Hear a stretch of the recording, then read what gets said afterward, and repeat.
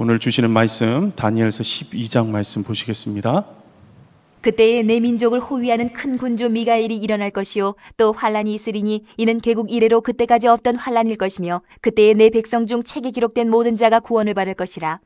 땅의 티끌 가운데에서 자는 자 중에서 많은 사람이 깨어나 영생을 받는 자도 있겠고 수치를 당하여서 영원히 부끄러움을 당할 자도 있을 것이며 지혜 있는 자는 궁창의 빛과 같이 빛날 것이요. 많은 사람을 옳은 대로 돌아오게 한 자는 별과 같이 영원토록 빛나리라 다니엘아 마지막 때까지 이 말을 간수하고 이 글을 봉함하라. 많은 사람이 빨리 왕래하며 지식이 더하리라. 나 다니엘이 본즉 다른 두 사람이 있어 하나는 강 이쪽 언덕에 섰고 하나는 강 저쪽 언덕에 섰더니 그 중에 하나가 세마포 옷을 입은 자 곧 강물 위쪽에 있는 자에게 이르되 이 놀라운 일의 끝이 어느 때까지냐 하더라. 내가 들은즉 그 세마포 옷을 입고 강물 위쪽에 있는 자가 자기의 좌우 손을 들어 하늘을 향하여 영원히 살아계시는 이를 가리켜 맹세하여 이르되 반드시 한때 두때 반때를 지나서 성도의 권세가 다 깨지기까지이니 그렇게 되면 이 모든 일이 다 끝나리라 하더라. 내가 듣고도 깨닫지 못한지라 내가 이르되 내 주여 이 모든 일의 결국이 어떠하겠나이까 하니 그가 이르되 다니엘아 갈지어다. 이 말은 마지막 때까지 간수하고 봉함할 것임이니라. 많은 사람이 연단을 받아 스스로 정결하게 하며 희게 할 것이나 악한 사람은 악을 행하리니 악한 자는 아무것도 깨닫지 못하되 오직 지혜 있는 자는 깨달으리라 매일 드리는 제사를 폐하며 멸망하게 할 가증한 것을 세울 때부터 1290일을 지낼 것이요 기다려서 1335일까지 이르는 그 사람은 복이 있으리라 너는 가서 마지막을 기다리라 이는 내가 평안히 쉬다가 끝날에는 내 몫을 누릴 것임이라 아멘. 하나님의 말씀입니다. 다니엘서 전체 말씀은 12장으로 이루어져 있습니다. 이 말씀은 정확하게 두 부분 반반으로 나뉜다고 이야기 드렸습니다.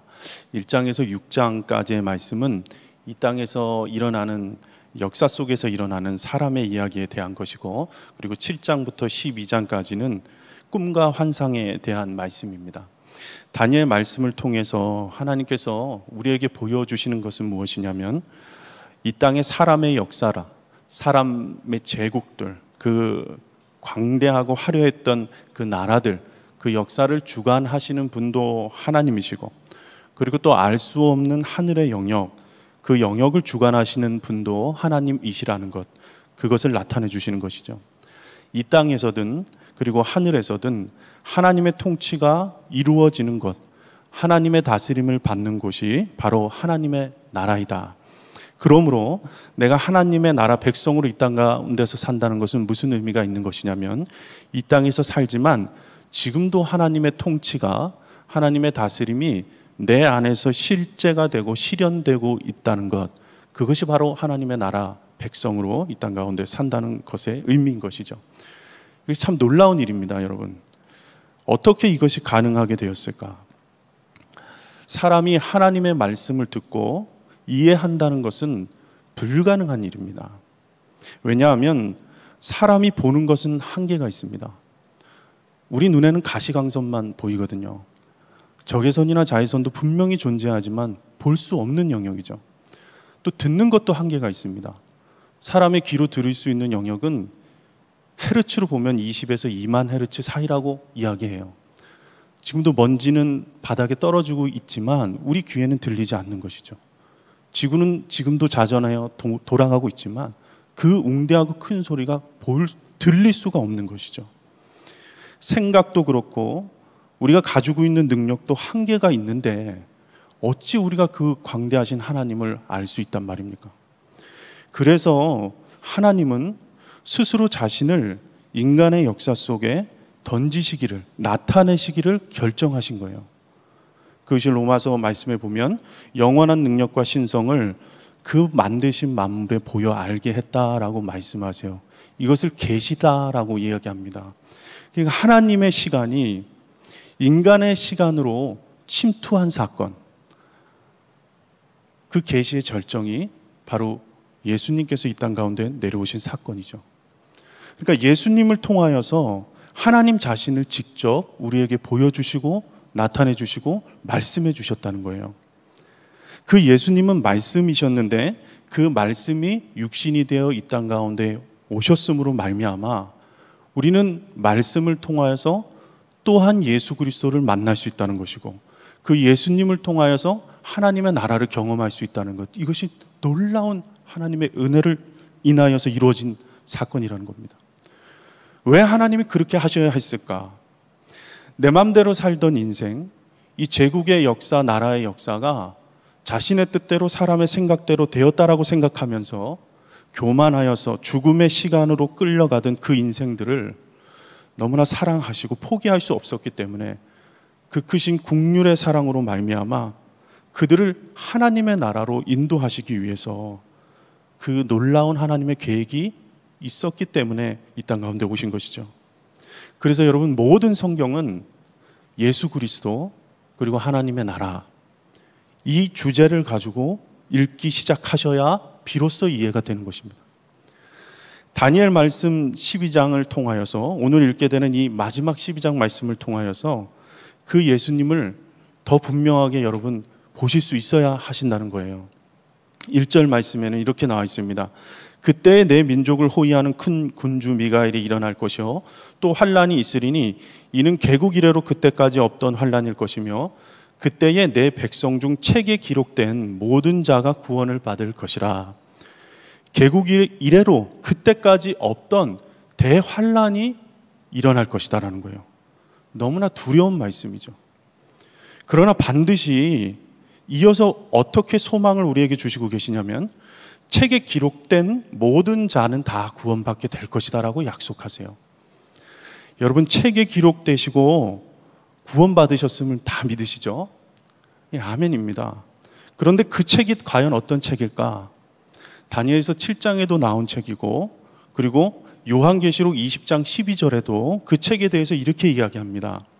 또 내가 보니 죽은 자들이 큰 자나 작은 자나 그 보좌 앞에 서 있는데 책들이 펴 있고 또 다른 책이 펴졌으니 곧 생명책이라.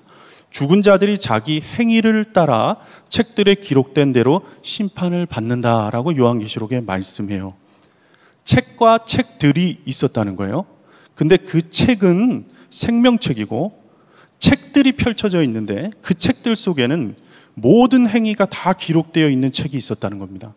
근데 그 모든 기록된 행위를 따라서 기록된 대로 하나님께서 심판을 하신다. 우리가 그 심판을 받게 된다라고 말하고 있는 거예요. 행위에 따라서 심판받는다는 거예요. 다시 여러분에게 묻고 싶습니다. 여러분의 행위에 따라 나 자신을 돌이켜 보면 구원을 받을 수 있으십니까? 대답이 잘 안 되고 자신이 없어져요. 왜냐하면 내 행위를 보면 형편없으니까. 긴가민가 하게 되는 것입니다. 그러나 여러분, 성경은 이 행위를 통하여서 구원받는 것이 아니다라고 또 이야기하고 있어요. 갈라디아서 2장 16절에 사람이 의롭게 되는 것은 율법의 행위로 말미암음이 아니요 오직 예수 그리스도를 믿음으로 말미암는 줄 알므로라고 이야기하세요. 우리의 행위로는 의롭다 여김을 받는 것이 절대적으로 불가능하다는 거예요. 그러나 오직 예수 그리스도를 믿는 믿음으로 구원을 받을 수 있다. 왜냐하면 오직 예수님만이 이 땅 가운데서 의롭게 사신 한 분이시기 때문에 그 은혜로 값없이 의로움을 입어서 그분의 의로움을 통하여서 그분의 의롭게 산 행위를 통하여서 그것을 믿는 믿음으로 우리가 구원을 받는다라고 이야기하는 거예요. 그러니까 오늘 1절 말씀에 생명책이 기록되었고 구원받으셨음을 믿으십니까? 라고 물을 때 망설임 없이 아멘이라고 대답할 수 있는 것이죠. 누구 때문입니까? 예수님이 그 믿음의 창시자이시고 그 믿음을 완성할 분이시기 때문에 내가 예수님을 믿는 믿음으로 그 예수님으로 인하여서 아멘 할 수 있는 것이죠. 2절 말씀에 땅의 티끌 가운데서는 자는 자 중에서 많은 사람이 깨어나 영생을 받는 자도 있겠고 수치를 당하여 영원히 부끄러움을 당할 자도 있을 것이며 죽게 되면은 사람들이 죽게 되면 그의 영혼은 믿음으로 말미암아 하나님의 나라의 품으로 돌아갑니다. 그러나 그들의 몸은 무덤에서 마지막 날에 깨어날 것을 기다린다는 이야기예요. 육체의 부활에 대한 언급입니다. 성경의 주제 중에서 굉장히 이해하기 힘든 부분이에요. 육체의 부활에 대해서는. 성경의 많은 부분이 이 육체의 부활에 대해서 이야기하지만 다니엘서 이 12장 2절 말씀이 가장 분명하게 그 이야기를 하고 있다고 평가를 해요. 그러나 여러분, 이 말씀도 어떤 모습으로 우리가 부활할 것인가에 대해서는 구체적으로 설명하지 않습니다. 하지만 그 부활에 대해서 너무나 분명하게 보여주셨던 분이 계신 거예요. 바로 그분이 예수 그리스도인 겁니다. 바울은 고린도전서 15장 20절에 이제 그리스도께서 죽은 자 가운데서 다시 살아나사 잠자는 자들의 첫 열매라고 했습니다. 예수님으로 인하여서 우리의 영혼과 육체가 모두 다 부활하게 될 것이다. 부활도 예수님 없이는 이해할 수 없고 볼 수가 없다라는 것을 말씀하고 계신 거예요. 그래서 예수님은 성도들의 죽음을 죽었다라고 표현하지 않고 잔다라고 이렇게 표현한 거예요. 여러분 3절 말씀 보세요. 지혜 있는 자는 궁창이 빛과 같이 빛날 것이요 많은 사람을 옳은 대로 돌아오게 한 자는 별과 같이 영원토록 빛나리다. 성경책 중에서 가장 유명한 구절 중에 한 구절입니다. 그런데 여러분 지혜 있는 자가 대체 누굽니까? 지혜이신 그 예수님을 믿고 그 말씀에 따라 순종하며 주님의 통치의 다스림을 받고 오늘 1절과 2절에서 말씀한 구원의 약속과 부활의 약속을 믿는 자, 그 부활에 동참하여 영생을 얻어 사는 자를 지혜 있는 자다라고 얘기하는 거예요. 그는 하늘의 빛과 같이 빛날 것이라 했는데 하나님의 나라에는 밤이 없고 등불과 햇빛이 쓸데없다라고 말씀하고 계신데 왜냐하면 하나님 자신이 빛이기 때문에 그렇다는 거예요. 지혜 있는 자가 궁창의 빛과 같이 빛날 것이다라는 것은 예수 그리스도를 통하여서 구원받은 자가 하나님의 나라에서 영원히 빛나 하나님과 동행하여 예수님과 동행하여 살 것에 대한 약속의 말씀인 것이죠. 또한 많은 사람을 옳은 대로 돌아오게 한 자는 별과 같이 영원토록 빛난다라고 했는데 많은 이들을 옳은 길로 여러분 인도하고 계십니까?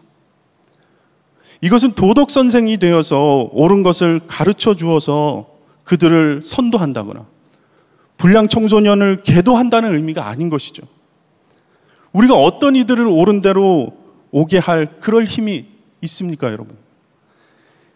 저는 아이들 둘 키우면서 절대 저는 그런 것을 할 수 없다는 건 매일 깨닫습니다. 아이들이 학교 안 가서 집에 있는 동안 문제집 두 장도 매일 풀게 하는 것이 저는 힘듭니다. 어떻게 제가 옳은 대로 옳게 어, 가게 할 수 있겠어요? 인도할 수 있겠어요? 옳은 대로 돌아오게 한다는 것은 옳은 분에게로 데려간다는 것을 말하는 것입니다. 누구십니까? 오직 죄가 없이 옳은 길을 가셨던 유일한 그 한 사람, 바로 예수 그리스도께로 인도하는 자를 말하는 것이죠. 로마서 5장 18절에 그런즉 한 범죄로 많은 사람이 정죄에 이른 것 같이 한 의로운 행위로 말미암아 많은 사람이 의롭다 하심을 받아 생명에 이르렀다라고 이야기해요. 예수님만이 의인이십니다. 그렇기 때문에 이 땅 가운데서 예수님의 그 길로 인도하는 자, 예수님의 증인으로 살면서 구원의 복음이 그를 통해서 열매 맺고 드러나 사는 삶이 바로 별과 같이 영원히 빛나는 삶을 약속받게 되는 것입니다. 예수님께서도 마태복음 13장 43절에 그렇게 얘기하세요. 그때에 의인들은 자기 아버지 나라에서 해와 같이 빛나리라. 그렇게 약속하셨어요. 여러분, 이 땅 가운데서 내가 빛을 좀 못 바래도 괜찮습니다. 하나님의 나라에서 해같이 빛날 것을 믿게 되기를 축복합니다. 세상에 많은 사람들이요. 어떻게 하면 내 인생이 더 빛날까를 고민하면서 진리를 찾아다니면서 너무나 많은 사람들이 자신의 인생을 빛나기를 바라고 노력하면서 그렇게 달려간다는 거예요. 얼마 전에 그 음악 프로그램을 보는데 너무나 유명한 한 가수가 노래를 불렀어요. 정말 빛나는 청년이고 정말 유명한 가수예요. 근데 그 가수가 다른 동료들과 함께 노래를 부르는데 G.O.D의 길이라는 노래를 부르는 거예요. 근데 갑자기 이 친구가 노래를 부르다 말고 눈물이 펑 터진 거예요. 노래하기를 다 멈추고 그만 그 자리에서 펑펑 울었어요. 결국은 공연을 못하고 그 친구는 나가고 노래가 다 끝날 때까지 들어오지 못한 거예요. 그래서 나중에 그 친구를 불러다가 위로하면서 왜 그렇게 울었냐라고 말했더니 그 친구가 그렇게 얘기하는 거예요. 자기 지금 너무 열심히 살았다. 너무 힘들다. 많은 것을 이루었다. 근데 이 지오드의 길에 이 가사 한마디에 너무너무 자신이 무너지는 걸 느꼈다는 거예요. 그 가사는 무엇이냐면 이 길의 끝에서 내 꿈은 과연 이루어질까? 이 질문을 자기 스스로에게 해보니까 여전히 너무나 갈 길이 보이지 않고 막막하고 목마르고 갈망이 있다라는 것을 깨닫게 된 거예요. 돈도 명예도 사랑도 다 얻어봤지만 여전히 기쁨이 없고 목마르다는 거예요. 제가 그 청년의 모습을 보면서 정말 말해주고 싶더라고요. 길이 있지, 길이 있지. 예수님이시지. 예수님이 길이요, 진리요, 생명이시지. 그분을 만나면 인생이 달라질 텐데. 여러분, 사절 말씀에 다니엘아, 마지막 때까지 이 말을 간수하고 이 글을 봉함하라. 많은 사람이 빨리 왕래하며 지식이 더하리라. 봉함하고 간수하라는 것은 비물처럼 꽁꽁 싸매고 있어라라는 얘기가 아니라 잘 간수하고 오염되지 않도록 잘 보관하라. 어둠 가운데 거한 많은 사람들이 그 시대가 오면 빨리 왕래하면서 진리를 찾아서 지식을 찾아서 온통 지식은 파도처럼 많이 생기는데 그 중에는 진짜 진리가 없다라는 거예요. 아모스 선지자에 의하면 마지막 때의 말씀에 가람이 온다. 하나님께서 마지막 때에 기근을 주시는데 양식이 없어서도 기근이 아니요. 물이 없어서도 아니요. 여호와의 말씀을 구하려고 돌아다녀도 얻지 못한다라고 이야기합니다. 여러분 빛이신 이 예수님을 만나지 않으면 말씀을 보아도 이야기를 들어도 자꾸 엉뚱한 숫자에 관심 가지게 되고 엉뚱한 뉴스에 관심을 가지게 됩니다. 7절 말씀에 내가 들은즉 그 세마포 옷을 입고 강물 위쪽에 있는 자가 자기의 좌우 손을 들어 하늘을 향하여 영원히 살아계시는 이를 가리켜 맹세하여 이르되 반드시 한때, 두때, 반때를 지나서 성도의 권세가 다 깨지기까지이니 그렇게 되면 이 모든 일이 다 끝날 것이다. 환란이 한때, 두때, 반때 지나서 다 끝날 것이다라는 거예요. 그런데 이 3년 반을 말하는 건지 이것이 대체 역사 속에서 어떤 일인 건지 많은 해석들이 있지만 정확하게 알 길이 없다는 거예요. 중요한 것은 한때, 두때, 반때를 바라보는 것이 아니라 그 앞절 말씀에 있는 좌우 손을 들어 하늘을 향하여 영원히 살아계신 이를 바라보는 거예요. 천사들이 또한 오늘 말씀 가운데 1290일에 대해서도 이야기하고 1335일 등 날짜를 이야기하기도 합니다. 근데 이 비밀은 하나님만 아신다는 거예요. 많은 사람들이 이 숫자를 가지고 인류 역사 속에서 혹은 종말을 세세하게 논하려고 했어요. 대체 마지막 때를 이야기하는 건지, 에피파네스에 대한 박해를 이야기하는 것인지, 뭔지 모르겠다는 거예요. 대입하려고 많은 사람들이 노력했어요. 그런데 그 중에서도 이 숫자에 너무나 집착한 나머지 그 성경의 숫자를 실제 역사 속에 종말에 대입해서 사람들로 하여금 두려움을 만들려고 하는 분위기가 너무 많다는 거예요. 이들을 가르쳐 세대주의자라고 얘기합니다. 우리가 마땅히 두려움으로 마지막을 준비해야 하지만 이 일로 인해서 나에게 허락된 주님께서 허락하신 그 자리를 다 무시하고 떠나게 만드는 일들이 너무나 많다는 거예요.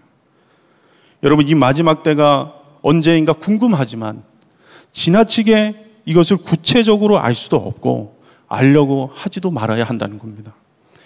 다니엘도 그 날짜에 대해서 들었지만 잘 모르는 거예요. 그래서 다시 한번 물어요. 8절 말씀에 보면 내가 듣고도 깨닫지 못한지라 내가 이르되 내 주여 이 모든 일의 결국이 어떠하겠나이까 하니 그에 이렇게 대답하십니다. 9절 말씀에 그가 이르되 다니엘아 갈지어다. 이 말은 마지막 때까지 간수하고 봉함할 것임이니라. 이렇게 대답을 해요. 미래에 일어날 일에 대해서 집착하지 말고 네가 하던 일을 계속해라 라고 말씀하시는 거예요. 미래에 대해서 지나치게 아는 척하는 사람들을 조심하셔야 합니다.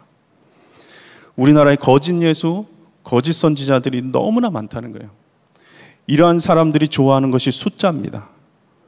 이 사람들은 현실은 다 팽개쳐 버리고 가족들 다 버리게 하고 재산 다 바치게 하고 나라를 떠나게 하고 산으로 올라가 살게 만듭니다. 13절 말씀에 너는 가서 마지막을 기다려라. 이는 내가 평안히 쉬다가 끝날에는 내 몫을 누릴 것이다. 이렇게 약속하세요. 그저 기다리라는 거예요. 너희들이 필요한 것은 이미 다 받았지 않느냐. 무엇이 더 필요하냐. 현실로 돌아가서 주님 오심을 갈망하면서 너의 마음 가운데 계신 그 예수 그리스도 그 음성에 순종하면서 그 주님과 동행하는 삶을 살아라. 우리에게 똑같이 말씀하시는 것입니다. 예수님 통해서 다 보여주었다, 내가. 그 믿음을 마지막까지 간수하고 그 주님과 함께 오늘도 그저 동행하면서 순종하면서 살아라. 로마서 1장 2절 말씀에 이 복음은 하나님이 선지자들을 통하여 그의 아들에 관하여 성경에 미리 약속하신 것이라 곧 예수 그리스도시니라. 모든 성경의 복음이 하나님의 말씀이 이야기하는 것이 예수 그리스도라는 거예요. 여러분 다니엘서 22장 전체를 관통하는 예수 그리스도 하나님의 나라. 이 주제를 명확하게 아셔야 말씀이 읽어지고 이해가 되고 믿어지는 겁니다. 그리고 이제는 내 인생의 이야기 속에도 예수님이 관통하게 하셔야 된다는 거예요. 다니엘서는 다니엘의 세 친구가 그리 아니하실지라도의 믿음으로 풀무불에서 건진받았다. 다니엘은 사자굴에서 구원받았다. 기도 열심히 해라. 세 일해 동안 금식해라. 다니엘의 지혜와 총명이 있었으니까 너도 그렇게 지혜를 주실 것이다. 다니엘이 주인공이 아니라는 것입니다. 거기에 초점을 맞춰서는 안 된다는 거예요. 오직 예수 그리스도가 길과 진리 생명 되셔서 하나님의 나라로 우리를 인도하실 것이다. 그리고 내 마음 가운데 지금 예수님이 계시기 때문에 내가 이미 하나님의 나라에 살고 있는 자이다. 이 구속의 역사를 믿음으로 받아들이고 내가 속한 지금 그곳에서 그 통치를 기뻐하면서 여러분이 속한 곳에서 가정에서 일터에서 학교에서 주님이 주시는 능력으로 나는 얼굴은 좀 안 될지라도 지혜도 없고 청명도 없을지라도 오늘 주님이 함께 하심으로 말미암아 충분하다 고백하면서 주님이 주시는 능력 두나미스를 믿고 너무나 힘든 세상이지만 너무나 어려운 세상이지만 그 능력을 믿고 담대하게 살아가는 것 그것이 바로 이 땅 가운데 하나님의 나라 그리고 말씀을 있는 우리들의 삶입니다. 여러분 예수님이 지금 여러분 안에 계신 것을 믿게 되기를 축복합니다. 그것으로 충분한 것이에요. 이 바벨론의 세상 속에 다니엘로 그 믿음을 가지고 하나님과 동행하면서 그 예수님과 동행하면서 끝까지 승리하는 여러분 되시기를 주님의 이름으로 축복합니다. 우리 함께 말씀 붙들고 두 번 기도하겠습니다. 먼저 3절 말씀입니다. 지혜 있는 자는 궁창의 빛과 같이 빛날 것이요. 많은 사람을 옳은 대로 돌아오게 한 자는 별과 같이 영원토록 빛나리라. 주님 궁창에 비치신 주님과 함께 살게 하소서. 우리 가정에서 복음의 통로가 되게 하소서. 우리가 세워진 일터에서 하나님의 나라를 드러내는 삶을 살게 하소서. 이 땅의 교회가 정말 별과 같이 빛나는 교회 되게 하소서. 영원한 빛이신 예수 그리스도를 열방에 알리는 교회가 되게 하소서. 우리 함께 기도합시다. 주님 인도하셔서 감사합니다. 말씀을 통하여서 빛이신 주님을 만납니다. 우리는 어둠에 살아 아버지 악한 영의 권세에 놓여 있던 자이지만 하나님 우리를 부르셔서 복음의 통로가 되게 하시는 그 놀라운 은혜 가운데 살게 하신 것 너무나 감사합니다. 하나님 우리가 세워진 모든 곳에서 하나님의 나라를 드러내는 삶을 살도록 인도하여 주시옵소서. 아버지 하나님 이 땅에 정말 교회가 주 하나님과 그 예수 그리스도 복음을 전하는 별과 같이 빛나는 교회 되기를 원합니다. 영원한 빛이신 예수 그리스도를 열방에 전하는 그 사명을 감당하게 하소서. 예수 그리스도 하나님의 나라 아버지 내 영혼 깊숙이 새깁니다. 주님으로 말미암아 하나님 나라에서 담대하게 살게 하시고 주님이 허락하신 모든 곳에서 주님의 놀라운 열매들을 맺어가며 성령의 열매들을 맺어가며 많은 이들을 예수님께로 인도하는 자의 삶을 살도록 역사하여 주시옵소서. 주 예수님 나를 통하여 일하시고 드러내소서 주님 감사합니다. 9절과 13절 말씀 붙들고 마지막으로 기도합시다. 그가 이르되 다니엘아 갈지어다. 이 말은 마지막 때까지 간수하고 봉함할 것임이니라. 13절에는 너는 가서 마지막을 기다리라. 이는 내가 평안히 쉬다가 끝날에는 내 목숨을 누릴 것입니다. 다니엘아 갈지어다. 그리고 마지막을 기다리라 말씀하십니다. 주님 가라고 말씀하신 곳에서 예수님과 함께 가 가게 하소서. 기다리라고 말씀하신 그곳에서 예수님과 함께 기다리게 하소서. 그리고 마침내 주 예수님과 함께 하나님 나라에서 영원한 삶을 누리게 하소서. 믿음으로 기도합시다. 주님 감사합니다. 오늘도 이 말씀을 붙들고 우리가 살아가게 되기를 원합니다. 하나님 허락하신 모든 곳에서 하나님의 뜻이 드러나게 역사하여 주시옵소서. 가라 하실 때 가게 하시고 기다리라 하실 때 기다리게 하시고 하나님 놀라운 비밀의 말씀을 예수 그리스도를 통하여서 드러내신 그 은혜가 우리의 삶 가운데 분명하게 드러나도록 인도하시고 역사하여 주시옵소서. 아버지 나름대로 능력이 없으나 내 안에 계신 예수님이 능력이십니다. 나는 약하고 아버지 연약하지만 주님은 강하심을 믿습니다. 주 예수님으로 인하여서 구원받고 주 예수님으로 인하여서 부활을 누리고 주 예수님으로 인하여서 이 땅 가운데 별과 같이 빛나는 삶으로 아버지 인도하실 것을 내가 믿음으로 고백합니다. 주 예수님 역사하여 주시옵소서. 주님 축복하여 주시옵소서.